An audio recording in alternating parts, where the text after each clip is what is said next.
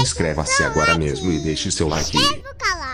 Sejam bem-vindos. Curta nosso canal oficial. E antes de mais nada aproveite, ative o sininho de notificação para ficar por dentro de tudo que tá rolando na web. Deixe seu joinha e se inscreva agora mesmo. E sem perder tempo vamos para a notícia do dia. Bomba. O vídeo mostra Katia Paganotti fazendo xixi em gaveta de A Fazenda 2018. A Fazenda 2018, Katia Paganotti urina em gaveta após ficar bêbada. Foi isso que aconteceu na madrugada deste sábado, 10 de novembro, durante o reality show da Record. Katia Paganotti estava completamente fora de si após beber muito. Ela chegou a tirar parte da roupa, após entrar na sede da fazenda. Um vídeo mostra Katia Paganotti urinando no quarto e ela causa punição em A Fazenda. Para piorar a situação, a famosa urinou dentro de uma gaveta, causando punição aos demais peões do programa. O momento de Katia acabou repercutindo bastante nas redes sociais. A peoa foi muito criticada. Alguns pediram a expulsão de Katia Paganotti lembrando que houve com Nadja Pessoa. Katia Paganotti parecia que não queria que a noite acabasse após a festa em A Fazenda 10. Os participantes já estavam dormindo no quarto durante o ocorrido. A produção da Record precisou acionar uma espécie de sirene para conseguir fazer com que Katia parasse e se portasse de uma forma um pouco menos vexaminosa.